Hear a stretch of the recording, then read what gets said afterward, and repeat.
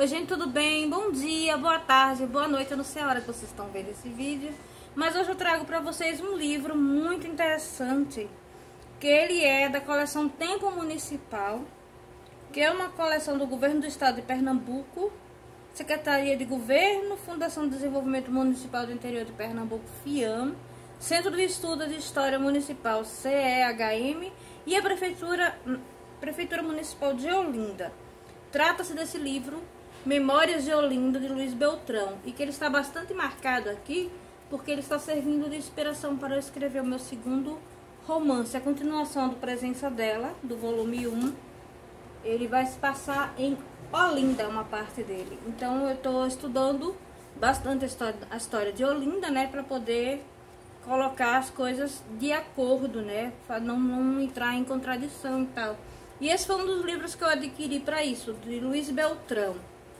Esse livro, ele é da coleção Tempo Municipal, como eu falei, e ele foi lançado em 1996. Ele está meio assim acabadinho, mas é por conta de que eu já comprei assim, né? Meio queimadinho e tal. Eu comprei na estante virtual, acho que ele foi uns 20 reais, 25 no máximo.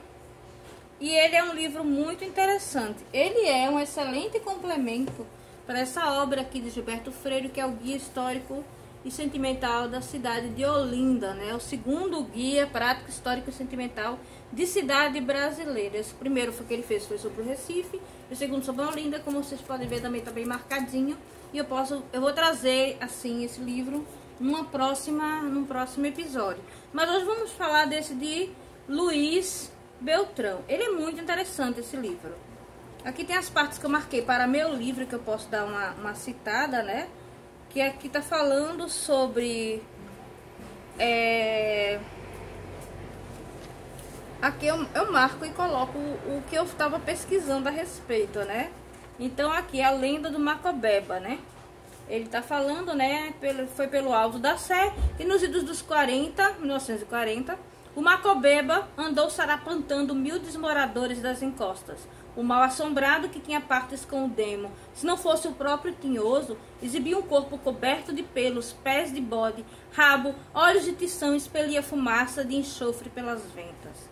A espantosa visagem ocupou as páginas dos jornais, atraiu multidões para Olinda Alta, preocupou autoridades e, afinal, foi exorcizada por um ator cômico que se exibia no Teatro Santa Isabel e que inteligentemente se aproveitou da curiosidade pública excitada e apareceu tra travestido de fantasma, com fanfarra e tudo, ao bom estilo circense, anunciando os espetáculos de sua temporada. Mas se o Macobeba teve tal desmoralizante saída de cena para um duende que se preza, o mesmo não aconteceria com o Papa Figo olindense, encarnado no Cariri, que Eustorgio Vanderlei colocou na sua galeria de tipos populares do Recife Antigo.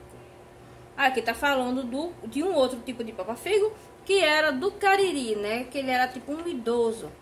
Aqui também, lenda do Macobeba e do Cariri, 1930.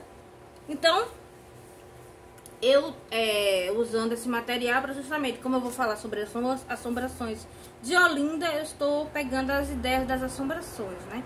E esse livro é muito interessante, gente. Aqui tem Histórico de Olinda, História de Olinda, e aqui falando sobre a paisagem, as lendas, seus filhos e moradores vivendo tramas amorosas e eróticas na literatura de Lucilo Varejão. Eu tenho alguns livros de Lucilo Varejão aqui também que eu vou trazer, né, na próxima. Aqui é Olinda, século XIX, século XX, né? E falando sobre o mosteiro de São Bento, que a minha história, ela basicamente se passa no mosteiro de São Bento, né? E fala muito sobre as igrejas, aqui fala sobre a Ordem Terceira do Carmo, sobre o mosteiro de São Bento, sobre o seminário de Olinda, que tem uma parte da história que também se passa no seminário de Olinda, certo?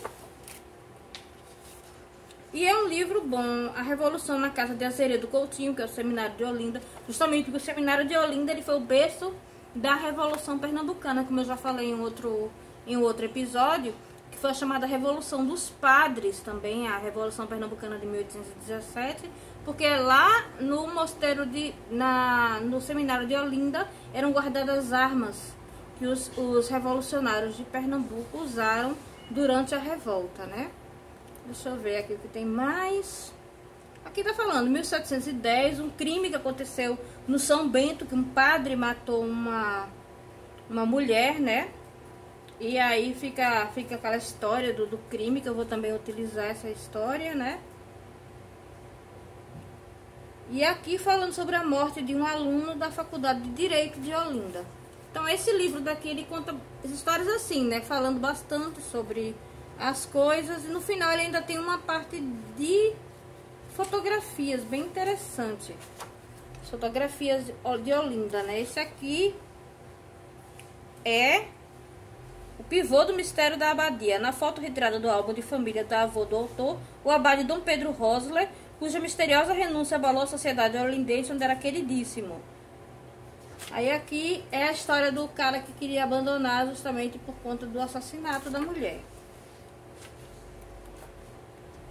E algumas fotos de estudantes, de família, né? A família Beltrão de Andrade Lima. Uma foto de época, eu acredito que isso aqui é 1910 a 1915, deixa eu ver aqui. 1915, realmente, a foto né? Aqui são algumas fotos de família do autor, né? Porque ele é olindense. Então, ele fala sobre, mais sobre a, a família dele, no caso. Né? Em Olinda. Esse livro é interessante. Eu acho que, para quem quer conhecer um pouco mais sobre a história de Olinda, da cidade de Olinda, que é uma cidade que ela tem uma história muito vasta, né? Desde, desde assim, Olinda era para ser a capital de do, de Pernambuco, do caso.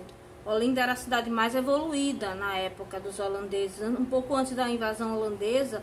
Dizem que as pessoas de Olinda elas andavam como as pessoas da corte é, portuguesa, que se usavam baixelas de prata em casa e tudo. E quando houve a invasão holandesa, eles queimaram Olinda até o chão e as pessoas que moravam em Olinda tiveram que se mudar para, para Recife. Recife na época era só uma era só um conjunto de casas de pescadores, era um conjunto de, de armazéns de açúcar, né? E aí as pessoas se mudaram de Olinda para Recife, e aí a cidade do Recife cresceu de maneira, né, até hoje se tornou vila, depois foi alçada a cidade e se tornou a capital de Pernambuco. E até hoje, Olinda tem um pouco de, assim, desavença com Recife por conta disso.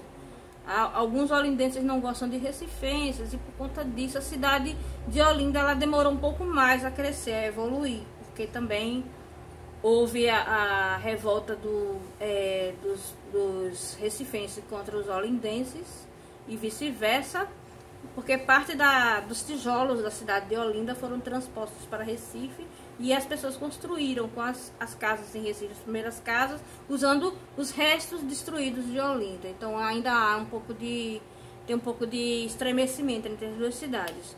Bem, gente, esse foi o livro de hoje, né? É um livro bem interessante. Eu estou usando principalmente por conta da minha pesquisa para o livro Sombras do Recife, volume 2. Se vocês gostaram, deixem seu like, compartilhem o vídeo. Quem quiser me seguir pelo Instagram, o Instagram do Sombras do Recife, eu coloco esse vídeo no IGTV, no Instagram e no YouTube. E também tem o, o, o Twitter, né? Que eu, lá o meu Twitter pessoal é arroba Robcine. Temos é, o Facebook, tem a fanpage, fanpage do Sombras do Recife. Eu estou presente em todas as redes sociais, eu tento estar sempre presente e responder as pessoas quando elas vêm falar comigo. Então, se quiserem falar comigo, eu vou ficar muito feliz no direct do Instagram, no inbox do Facebook, a gente pode conversar. Um beijo! e até a próxima!